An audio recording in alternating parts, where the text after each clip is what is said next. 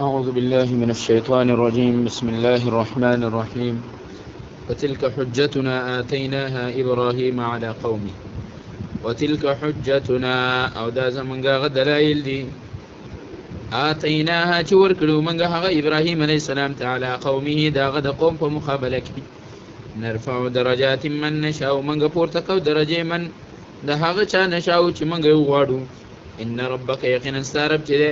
حکیم علیم حکمت والا او پوه ده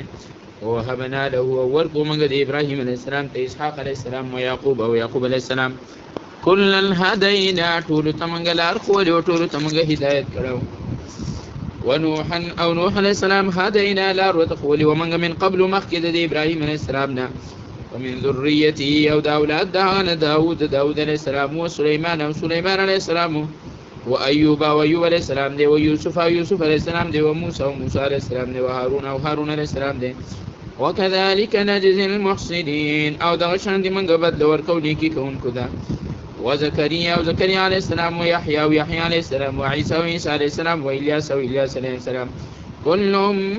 من الصالحين طول ودني كانوا خلقنا و اسماعیل او اسماعیل علیه السلام و یسع او یسع علیه السلام و یونس او یونس علیه السلام و لوطا او لوط علیه السلام وکلا فضلنا علی العالمین او ټول ته موږ فضیلت ورکړو په خلکو باندې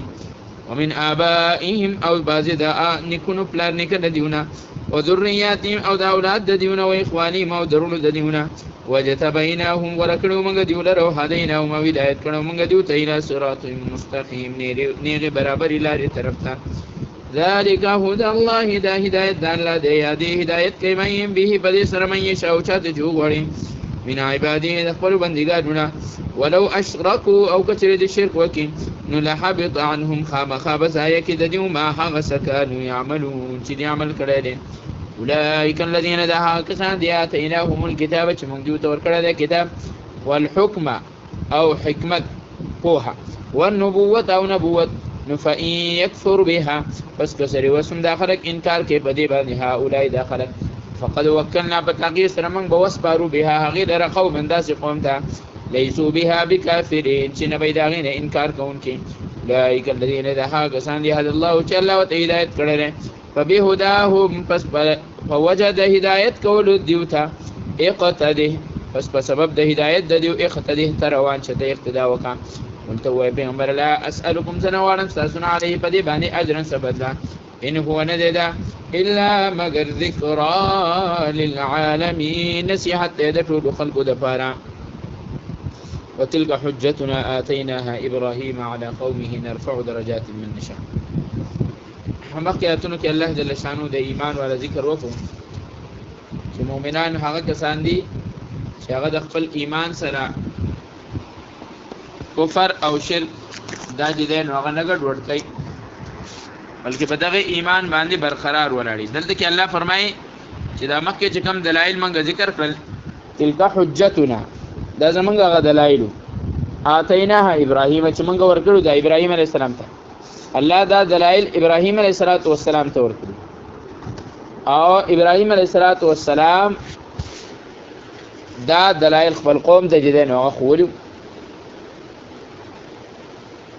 او ابراهيم عليه الصلاه والسلام اکثر خلک بدی کې جدي نو هغه مني د دې وجنه الله د ابراهيم عليه السلام ذکر ورته کوي مشرکانو به ابراهيم عليه السلام زمونږ مشر دا شانته يهود به زمونږ مشر عيسایانو به عيسى عليه السلام ابراهيم عليه السلام زمونږ مشر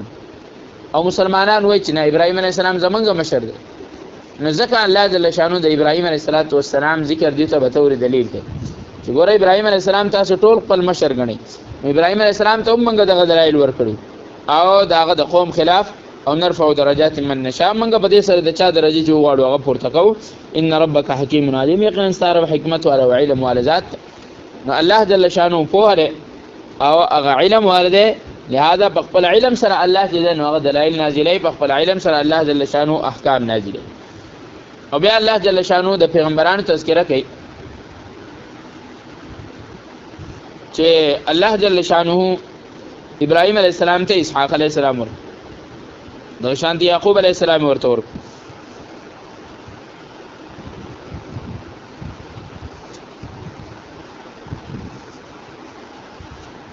ټول قران کریم کې تقریبا د 27 پیغمبرانو ذکر دی دا 28 او په دې ورکو کې الله جل شانو جل نوغه د اتلس پیغمبرانو تذکرہ چې دی نوغه اجمالا او مختصرا کړی ده الله وی وهبنا له اسحاق و یعقوب منګه د ابراهیم علی السلام ته اسحاق علی السلام او یعقوب علی السلام ور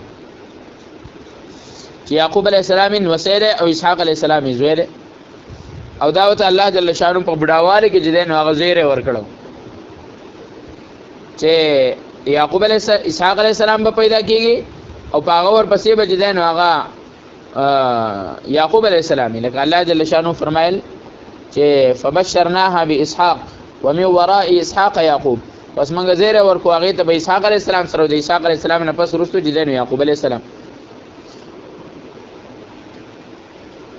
نو دا څومره پیغمبران چې د ابراهیم علی السلام نه پس راغلي دا ټول اکثر د ابراهیم علی السلام په اولاد کې راغلي نو ځکه الله فرمایي کلن هدینا دې ټول ته موږ لار خولې و دې ته موږ هدایت کړو ځکه پیغمبر دا چې دی نو هغه هدایت یافته وي دته د الله تر طرف نه مکمل راهنمایي حاصلوي او ده هادي وي خلق چې دنه دغه هدایت طرف ته رابلي الله وي ونوحا هدینا من قبل او نوح علی السلام ته موږ هدایت کړو دنه مخکې چې د ابراهیم علی السلام نه الله جل شانه نوح علی السلام چې دنه هغه پیغمبر هغه را لګلو او نوح علی السلام چې دنه هغه خپل فریضه د دعوت او د ایمان او د اسلام دا چې دی نو هغه په صحیح طریقې باندې ادا کړې ده او نه نیم سوه کاله چې دی نو نوح علیه السلام وسلام خپل قوم له دعوت چې دی نو هغه صرف د دغې کلمې ورکړی چې تاسو کامیابي حاصلوئ نو الله یو منئ او د خپل معبودانو د عبادت نه چې دی نو هغه خلاص شئ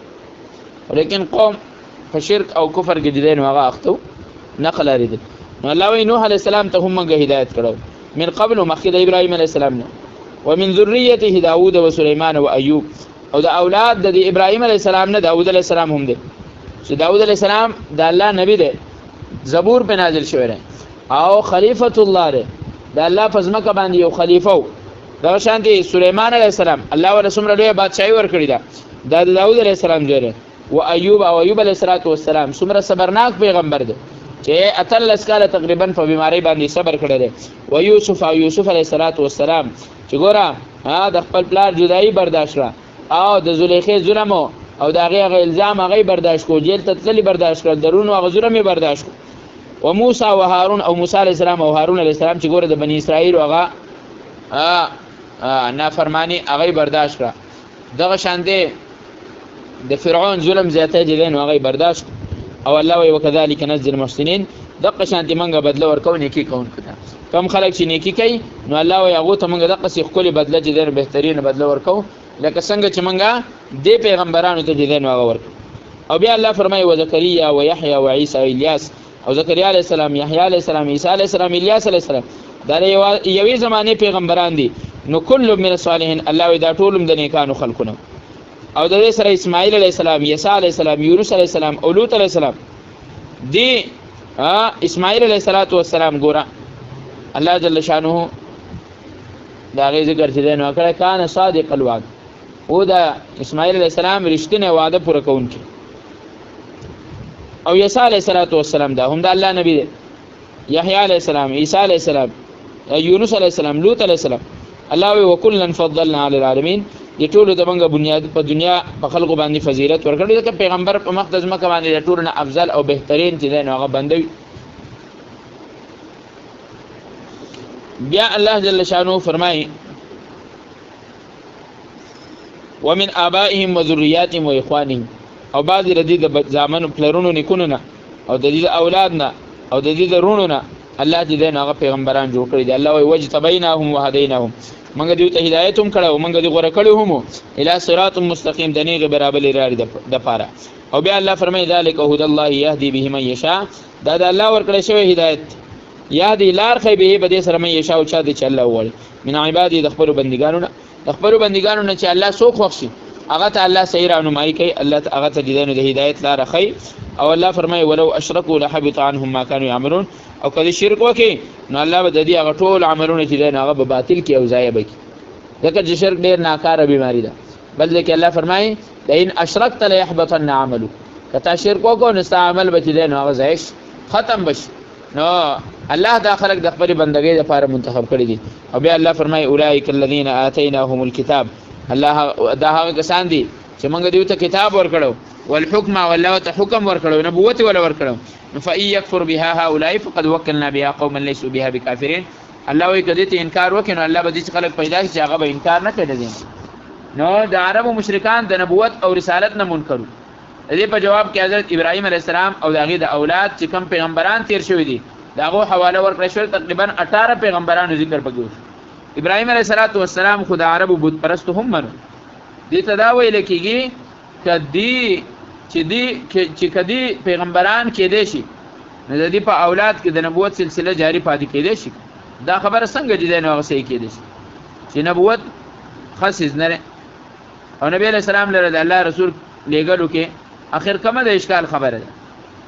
حال دا دی چې د دوی د نبوت دلایل د رڼا ورځې په شان دي چې نو هغه په دې باندې واضح شوي ولیکن دی بیا هم نه مني الله وتعالى چې دا پیغمبران راتلی شول چې دا د ابراهیم علی السلام په اولاد کې دي نو بیا دا نبی علی السلام پیغمبر ول نشي راتلی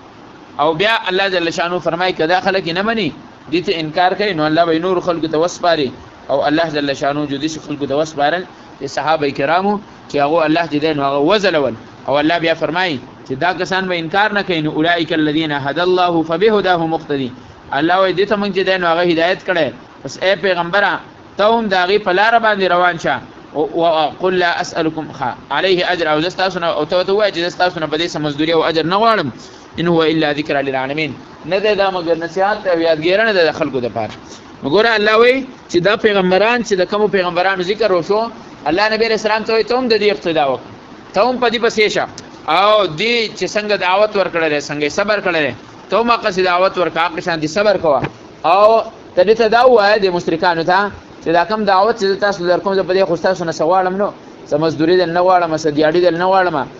څه قرض دار درنه نه غواړم پیسې درنه نه غواړم کور درنه نه غواړم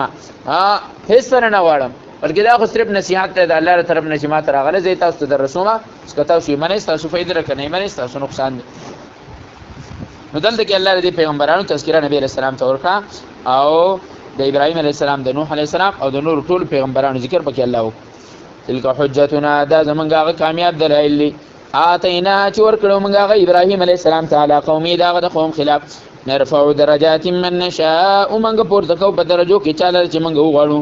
ان ربک یقینا ستا رب چې دی حکیم علیم حکمت والا دی او ډېر پوه دی ووهبنا له اسحاق او ورکو موږ د ابراهیم علیه السلام ته اسحاق علیه السلام او یعقوب او یعقوب علیه السلام وسه کلن هدینا ټول ته موږ لار خولې و ونوحا او نوح علیه السلام ته هدینا هدایت کړو موږ من قبل مخکې د ابراهیم علیه السلام نه ومن ذریتی او د اولاد د ابراهیم علیه السلام نه داوود علیه السلام دی سلیمان علیه السلام دی ایوب علیه السلام دی یوسف علیه السلام دی او موسی علیه السلام دی او هارون علیه السلام دی وکذالک نجزی المحسنین او د قرنګ منګ نیک بدله ورکو د نیک عمل کوونکو ته و زکریا او زکریا علیه السلام او یحیی علیه السلام او عیسی علیه السلام او الیاس علیه السلام کل من الصالحین دا ټول د نیکانو خلقونه و اسماعیل او اسماعیل علیه السلام او یسع علیه السلام او یونس علیه السلام او لوط علیه السلام وکلن فضلنا او ټول ته موږ غورواله ورکړه وال العالمین د خپل زما خپل خپل زمانه په خلکو باندې ومن آبائهم او د دې د بل پلرونو نه او ذریاتهم او د دې د اولاد نه و اخوانهم او د دې درونو نه وجتبیناهم ورکړو موږ دیو لره وهدیناهم او هدایت کړو موږ دیو ته الی صراط مستقیم نه برابر لارې طرف ته